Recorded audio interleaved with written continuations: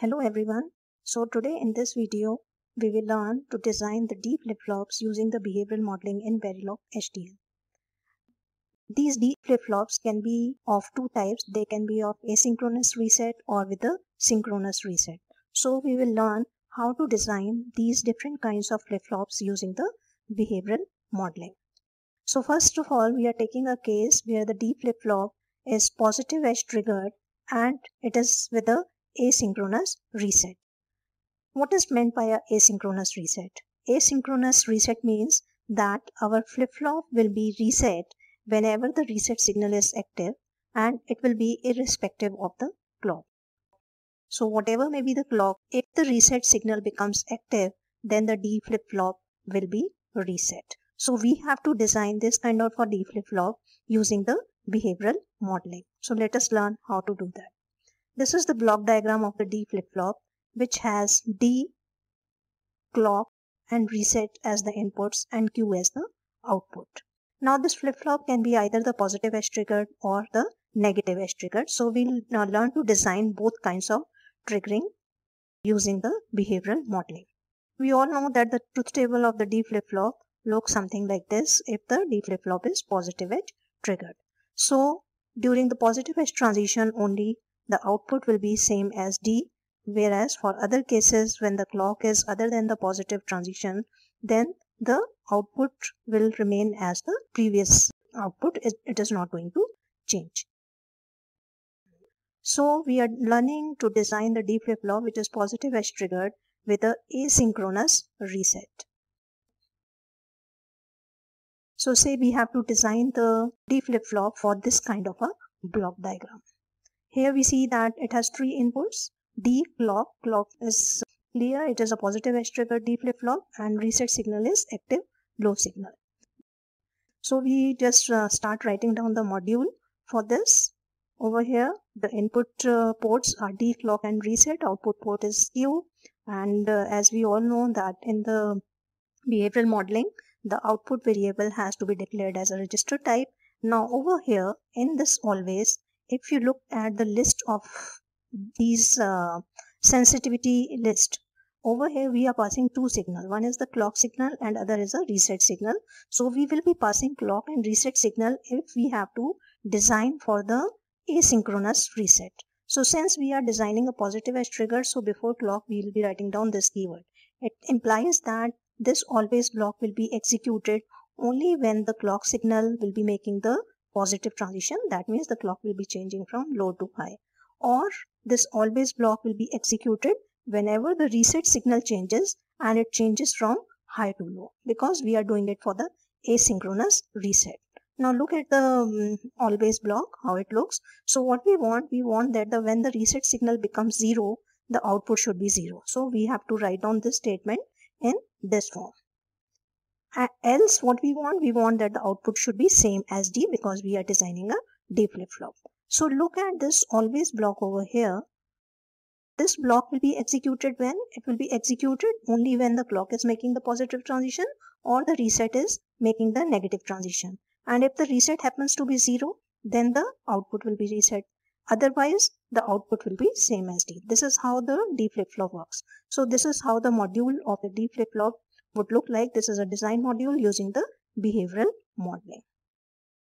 Now, if you have to design, say, not for the positive edge triggered flip-flop, but for the negative edge triggered flip-flop, then this design module can be written for the negative edge triggered flip-flop by making a small change.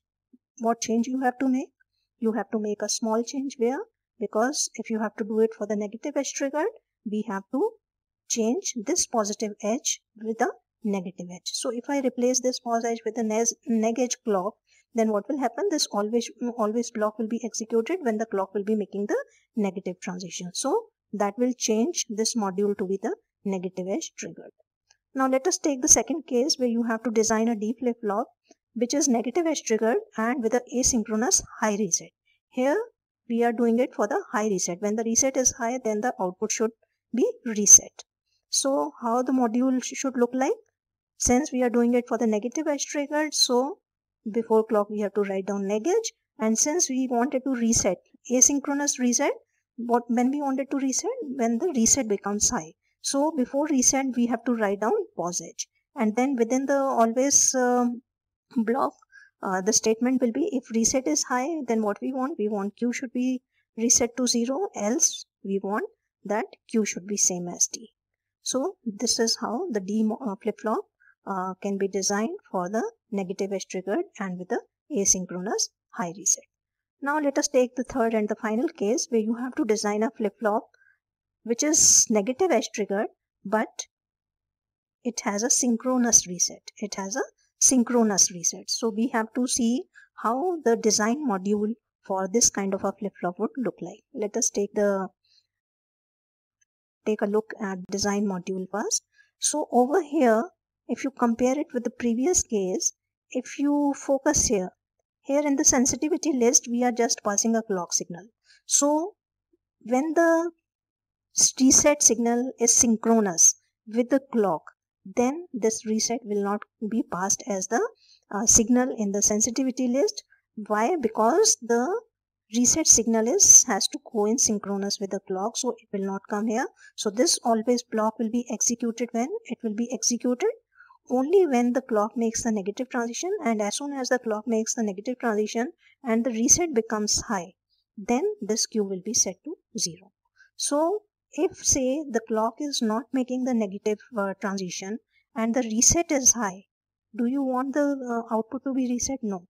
So since we do not want that so that is the reason we are not placing the reset signal in the sensitivity list. Had we placed this reset signal in the sensitivity list then irrespective of whatever the clock signal is if the reset will become high then our output will become zero which we don't want so this is how the uh, design module for the synchronous reset would look like.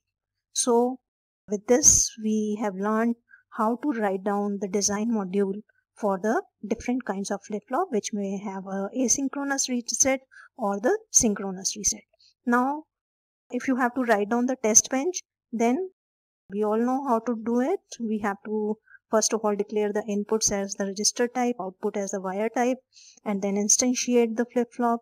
And then within the initial, we have to uh, take all the possible cases. So we are starting with the clock equal to 0 and reset equal to 0 and D0. And then after 100 units of time, I'm making, making reset to be high and D is high. And again, after 100 units of time, keeping the reset same, I'm making D0 and would see how the simulation would look like. So the output should follow the input when the reset is high and when the reset becomes low then the output should remain low and again after 100 units of time I am finishing the simulation. Now since this is a clock driven device so we have to generate the clock also and we know that how the clock can be generated so we are using the always block for that. So with this we have learned how to write down the design module and the test bench for D flip-flop. This D flip-flop may be either the positive edge triggered or the negative edge triggered and it may have either the asynchronous reset or the synchronous reset.